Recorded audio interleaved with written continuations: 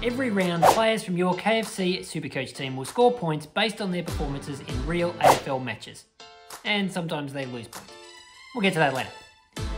The scoring formula has been developed by Champion Data to reflect actions which make a difference in real AFL games. Getting a lot of kicks, marks, and handballs is a good start to putting together a big KFC Supercoach score, but there's a lot more to it than that. So let's take a look. There are more than 50 statistical categories that go towards every player's score. You don't need to know all of them, but being across the most important will help you pick the best players for your side. Winning your own footy and using it well when you get it are the foundation of a good KFC Supercoach score. Contested possessions, made up of hard ball gets and loose ball gets, are worth 4.5 points, and a contested mark is worth 6 points. Disposal efficiency is also rated very highly.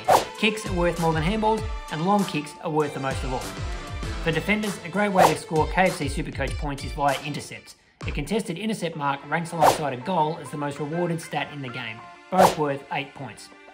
Also look for defenders who take kick-ins from behind, especially if they play on a lot.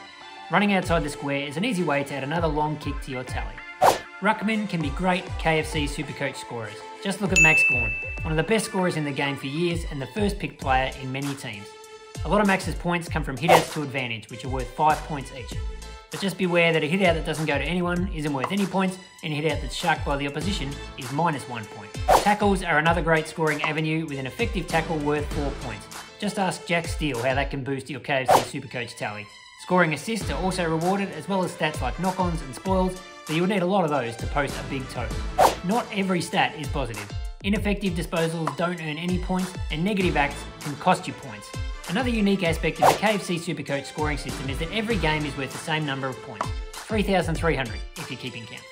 That's because every match in the AFL season is worth the same number of points on the AFL ladder, so it doesn't make sense to award twice as many Supercoach points in a 40 goal shootout as a 12 goal slog down in Tasmania.